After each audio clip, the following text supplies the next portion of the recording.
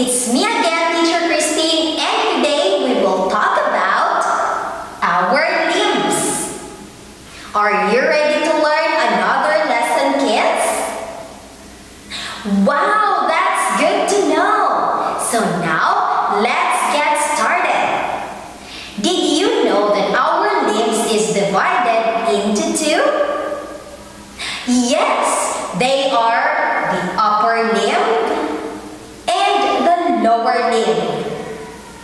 First, let's talk about the upper limb. Can you name them? Can you tell me what is this? Yes, this is our shoulder. How about this? You're right. This is our arm. And what do you call this part? You're right again, kids. This is our elbow. What about this part? That's right. This is our wrist. And what do you call this part? Correct. This is our hand. What do you call this part?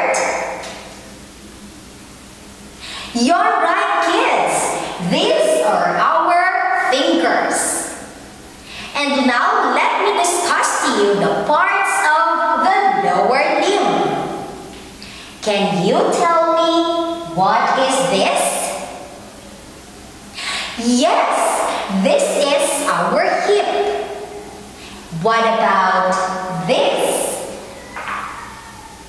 You're right. This is. What do you call this part?